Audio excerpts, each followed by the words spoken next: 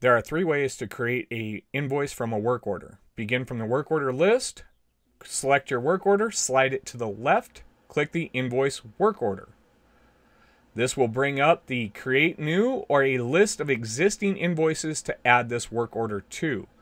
If you select the create new, it will make a new invoice for that client. Going back to the list of work orders, if we are in a work order, we click the bottom right invoice button and then select the create new or the existing invoice. To invoice multiple work orders at a time, bring up the right side menu, click Invoice, select the work orders with the same client name, and click Invoice.